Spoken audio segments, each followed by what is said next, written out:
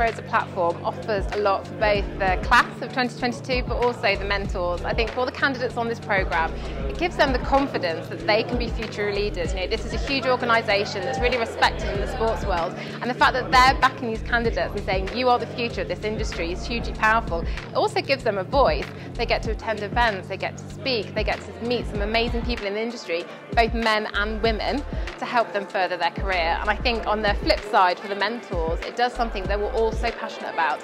It gives the next generation of women a voice and enables us, gives us the tools to help accelerate their career and help get them in front of the sort of decision makers of the future. So hopefully these women down the line will be running the businesses and also hopefully be senior people at SportsPro. Sports Pro has always been a really collaborative organisation that focuses a lot of attention and effort on bringing really interesting people together to have interesting conversations.